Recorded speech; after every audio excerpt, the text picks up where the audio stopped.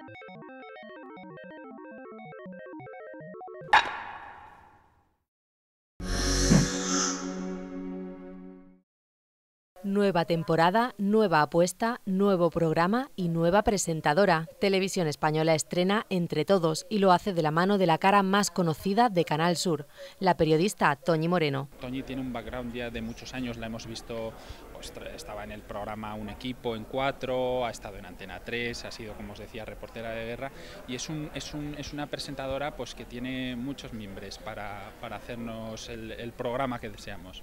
En tiempos difíciles lo que más se necesita es solidaridad y entre todos pretende ser el vehículo para que los ciudadanos se ayuden entre sí de forma inmediata y sin intermediarios.